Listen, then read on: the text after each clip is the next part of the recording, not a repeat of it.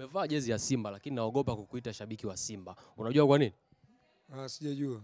Nimepita kwenye peji yako nikakuta Novemba kumi na moja ulifanya mahojiano na kituo kimoja cha habari ukasema kwamba Simba ikitokea wanamfukuza Robertinho basi utaacha kuishabikia Simba na Simba wamemfukuza Robertinho. Vipi, usha tukuite bado shabiki wa Simba au unaishi kwenye kile kiapo? Ah, inategemea sasa amefukuzwa katika situation gani. Sawa, kipindi kile namwongelea Robertinho, Robertinho alikuwa bado hajafanya kitu chochote, hajafanya baya, alikuwa hajafungwa ligi kipindi kile, wakati watu wanashinikiza Robertinho aondoke, kwamba timu inapata matokeo, lakini watu bado wanahitaji mpira mzuri, wanaona mifumo ya Robertinho haifai. Ndio mimi nikawa nashinikiza kwa viongozi na kuwapa hamasa mashabiki wenzangu kwamba tusije tukashinikiza ili mwalimu akafanya akaondoka, kwa sababu hakuna baya alofanya nini alilolifanya. Ndo nikawa natoa statistics za Robertinho kwamba tangu aje Tanzania hii hajawahi kufungwa mechi hata moja, lakini baada ya dabi, dabi inaeleweka, dabi siku zote lazima iondoke na mtu, yani ndo kawaida ya dabi. Hata wao tulivyowafunga goli tano kipindi kile iliondoka mpaka na mwenyekiti, sio not only coach but also even chairman.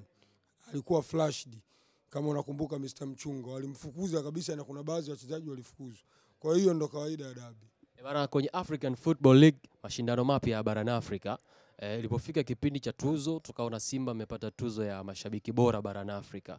Tunapozungumzia mashabiki bora manake ni kwa ujumla na mmoja mmoja. Wewe ni shabiki bora? E, mi ni shabiki bora e, mi ni shabiki bora kwa sababu ndo miongoni mwa mashabiki ambao tuliojitokeza tukafanya hamasa sawa, kipindi cha yale mashindano mpaka tukaenda tukaisapoti timu sawa, siku ya mechi na after mechi vile vile tukaisapoti timu yetu mpaka tunakuja tunatolewa, ndio maana tukapata tuzo ya mashabiki bora. Watu wanasema sisi Tanzania tumekuwa kama watoto wa mwisho kitinda mimba wa CAF. Pengine ile tuzo tumepewa tu kwa sababu sisi ni kitinda mimba wa CAF. Sifa za shabiki bora ni zipi kwa haraka haraka, bwana Hega? Sifa za mashabiki bora, kitu cha kwanza kafu wanachoangalia before a match, yaani kabla ya mechi, hamasa za mechi zinakuwaje. Nakumbuka yale mashindano yalikuwa ni ufunguzi ndio unafanyikia hapa nini? Tanzania, lakini vile vile during ya mechi, wakati mechi inachezwa, na vile vile mna active vipi, na after match mmepokeaje yale matokeo? Sawa, na mmeisupport vipi timu yenu, na kibehavior, tabia, mna tabia gani baada ya matokeo kuisha. Hicho ndio kikubwa kafu alichoangalia. Mimi niko mimi niko na wewe kwenye upande wa kilio hasa e, mara baada ya kupoteza kwa bao tano kutoka kwa mtani wako tano moja, mchezo unaofuata dhidi ya Namungo pia hamkupata matokeo mazuri, mtoka suruhu kama sio draw. E, baada ya pale kuna interview ulifanya bwana Hega, na katika ile interview ukawa umewashushia sana lawama wachezaji wenu, ukasema wachezaji wenu wanacheza azifu wametoka nyumba za wageni. Ile kauli yako ina ni mara baada ya kutoa ile kauli ukiwashutumu wachezaji wachezaji hawa hawa jana wametoka kushinda bao nne, haikutafuni?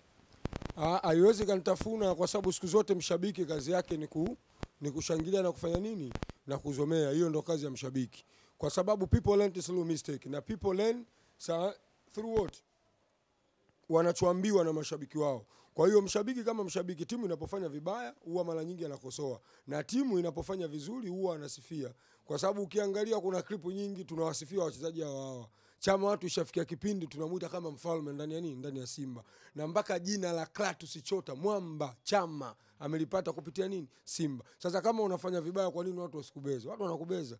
Yani hii ndio inapelekea mpaka wachezaji wanafanya nini, wanajirekebisha. Na ukichukulia vile vile hivi, mimi naweza kukuuliza swali, kwa nini Azamu hawafanyi vizuri? Na wakati kikosi cha Azam kama unakichukua kile unakihamishia Simba au Yanga, ni wachezaji wazuri kabisa. Kwa mfano kama unapomchukua yule right wing yule mtoto Kiple Junior popote anacheza kati ya Simba na Yanga. Unapomchukulia Jibli Sila popote anacheza, Dube popote anacheza, Akaminko popote ana... wakati sisi tunatafuta mastreka, umeelewa? Lakini kuna mtu anaitwa Dube yuko ndani ya Azam FC, anaweza akacheza Simba na Yanga katika mastreka wote waliokuja, lakini mwisho wa siku wanakosa pressure ya nini ya mashabiki, ndio inawapelekea sawa timu yao isifanye vizuri. Sasa kupitia hii pressure tunayowapa wachezaji wetu, ndio inawapelekea Simba na Yanga huwa siku zote wakifanya kosa leo, basi unaweza kukuta mechi tano sita warudi tena. Kwa hiyo ni right kabisa tunachokifanya.